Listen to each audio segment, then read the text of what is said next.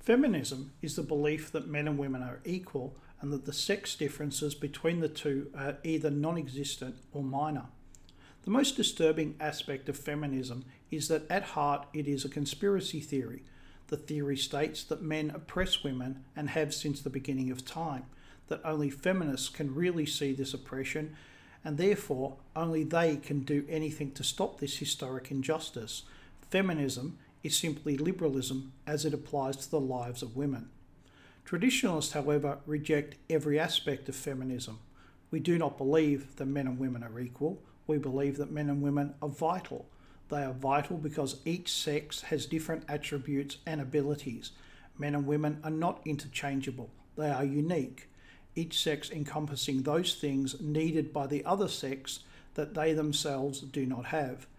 Neither sex is the superior sex because each sex is superior in the things that it is good at and inferior in the things that it is not good at.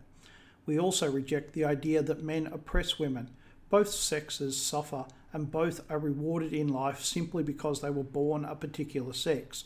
It is not one getting all the goodies and the other receives nothing. Life is without any doubt unfair, but that unfairness does not and should not fall only on one sex. Within feminism, there are many divisions, most small and some very large, but from our perspective, it is best to simply divide feminism into two parts the parts we can see and encounter. I call them hard feminism and soft feminism. Hard feminism is when most people think of feminism. This is the kind of thing that they think of women's studies, all men are rapists, political lesbianism. This is the hard and often nasty face of feminism. Here is the reason most women will not call themselves feminist, no matter how close to the feminist ideal they live. Even standard liberals can get incensed at their ideas and antics, but of course they are needed, for without them, who would have the courage to say the really outrageous things? No, liberalism needs them so they can see who ignores and who salutes the latest idea.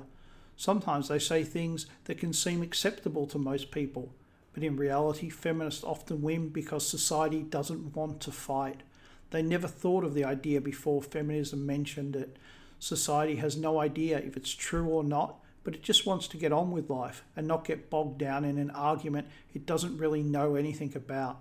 Just because society doesn't want to fight doesn't mean we should just roll over and give up. Soft feminism is the sort we see nearly every day. The idea that men and women are equal, but women have been discriminated against in the past, so they need extra help today. It's one of those things you mostly accept because either you haven't noticed it yet or because you just have to get through the day.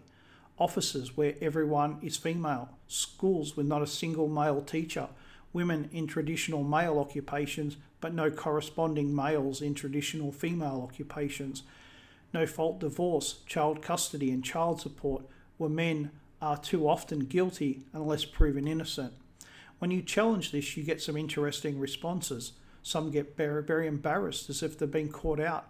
Others insist that thinking men and women aren't identical is either hatred of women or old fashioned, as if criticizing something means you must hate it, and that new fashion is somehow better, even though we all know fashions come and go. The idea that women can and should do anything a man can do is rife. How can it not be when so many say men and women are equal simply because they have heard the mantra so many times before? The idea that ideas have consequences is an absurdity to these people, and they will tell you so. Women can dress any way they want, they can drink as much as any man, and they can be as sexually irresponsible as any cad all without consequences, they believe, which is strange because these things still have consequences for men. The mistake is to think that consequences are only moral consequences. The consequences for both are a lack of safety, health issues, and emotional baggage. Instead of having these problems crop up in life, they seem to be the desired outcome. Hating. Feminism has a well deserved reputation for hating men.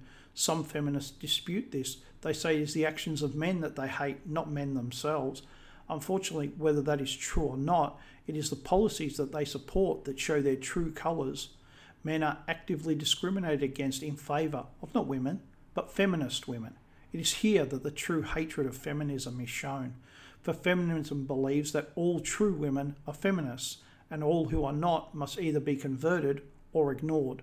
Laws that protect traditional women are dismantled as being pro male laws because of stand of men and women being partners in life together. They must now be enemies in the war between the sexes. The ideal woman is single with a professional career, children optional but not preferred, who is promiscuous and hard living. The ideal woman is a bachelor. Feminism hates women and femininity even more than it hates men and masculinity. When they say that the differences between the sexes don't matter and those that exist should be eliminated, they really mean it. They wish for a world where no one can tell the difference between a man and a woman, where femininity is as dead as masculinity. It is a war against human nature. It is a war against biology. It is a war against human dignity. It is a war against humanity itself. In short, feminism is inhuman. For those of us opposed to feminism, we should always remember this not all women are feminists, not all feminists are women. And here is a tra- trap feminists fall for, and we should know better.